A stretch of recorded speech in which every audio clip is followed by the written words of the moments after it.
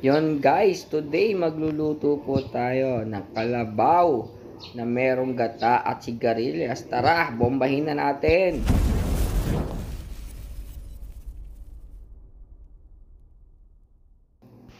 At ito natin gagamitin ang ating gata, unad pangalawa, ang ating kalabaw at ang ating sigarilyas. Siyempre meron tayong sibuyas bawang at siling green. At ito ang ating mumunting paminta. So simulan na natin. Yan, binuksan na natin ang ating kalan. Painitan na natin ang ating tuwali. Pag mainit na, ilagay na natin itong ating pangalawang gata. Yan, pag mainit na yung ating pangalawang gata, syempre, pag-plunge muna natin yung ating sigarilyas. Ayan, para mamaya, pag lulutuin natin yung sigarilyas, mas madali na lang siya. At saglit na lang natin siyang lulutuin doon sa ating karne. Halu-haluin na natin para lahat ay pantay-pantay. At yan, pag natapos na natin siyang i-blanch at napakuluan na natin guys, pwede na natin siyang i-set aside. Ayan, inuubos po natin lahat, i-set aside muna natin siya para mamaya, tsaka na natin siya ibabalik.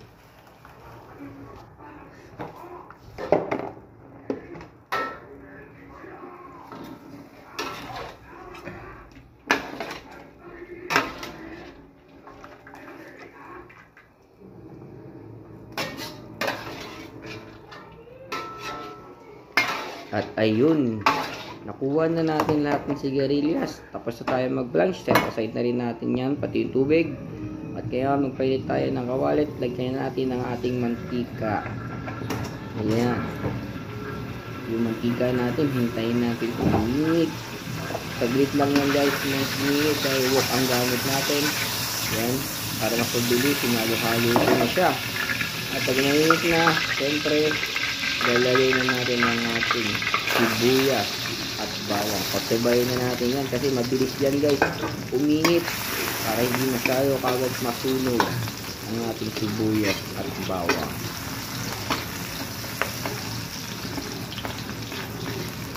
So ayan, sinalo-halo na natin para pantay-pantay talaga yung pagluto natin sa sibuyas at bawang. At yan, pag medyo okay na, ilagay na natin itong ating mahiwagang kalabaw. Ayan.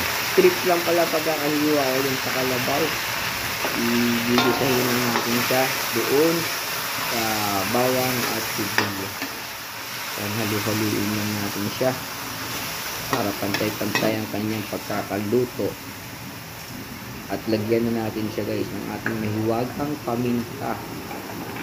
Yung paminta na yan guys, ako nagdurig niyan. Masarap kasi yun. Minsan kasi may nabibili tayong paminta na parang fake. Hindi siya durog talaga.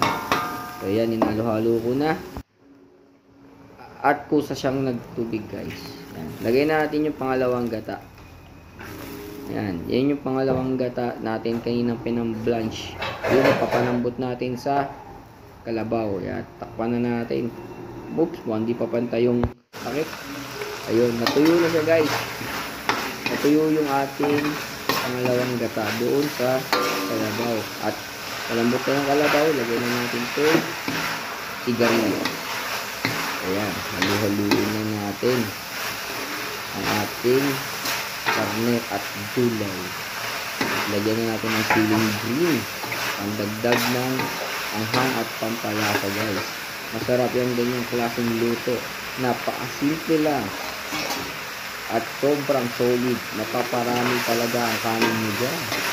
At ayun, hinalo-halo na natin ang ating kalabaw at kalaba at sigarilyas. Ayan. At ayun na nga guys. After na natin mahalo, ilagay na natin itong ating purong gata. Ayan, ang unang gata. Yung kanina pala ay pangalawang gata na pala yun. Ito ay ating unang gata. Yung purong-puro. Ayan. Siyempre, lagyan na natin ng asin.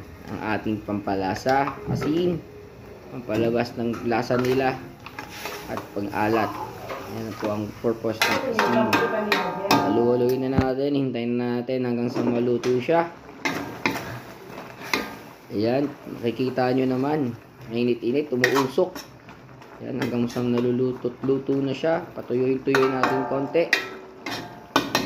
Siyempre, dapat may sabaw-sabaw pa siya, guys. So, ayun.